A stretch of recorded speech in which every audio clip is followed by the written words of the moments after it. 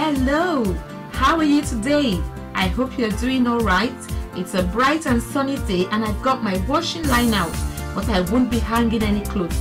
I've got my number cards from 0 to 10 and I want to hang them from the smallest number to the largest number on my washing line.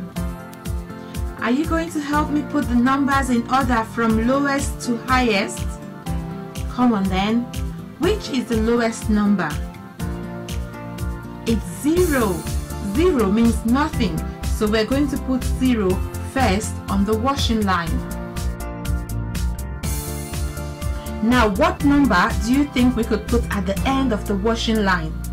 What's the highest number? It's 10. Yes, 10 is the highest one of the numbers, so we'll put it at the end of the washing line.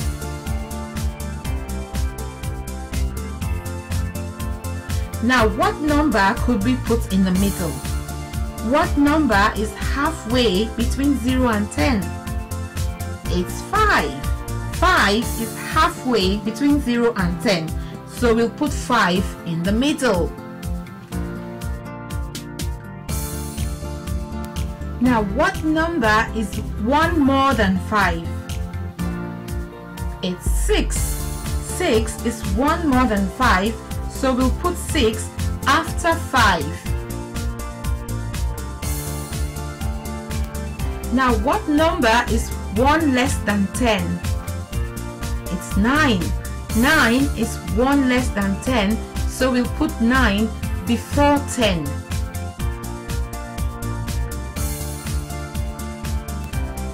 Now what number is 1 less than 5? It's 4. 4 is 1 less than 5, so we'll put 4 before 5. Now what number comes after 0?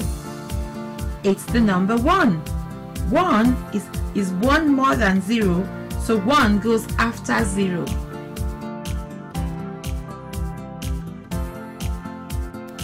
What number is 1 less than 4? It's 3. 3 is 1 less than 4, so we'll put 3 before 4.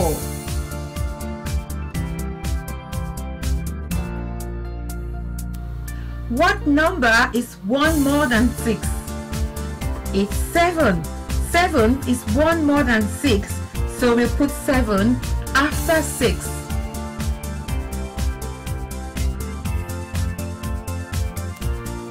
Now we've got two numbers left.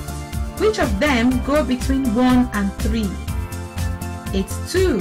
2 is 1 more than 1 and 1 less than 3. So we put 2 in between 1 and 3.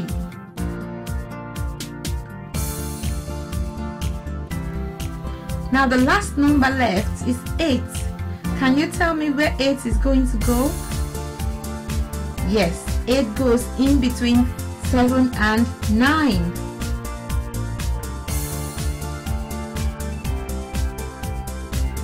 Wow!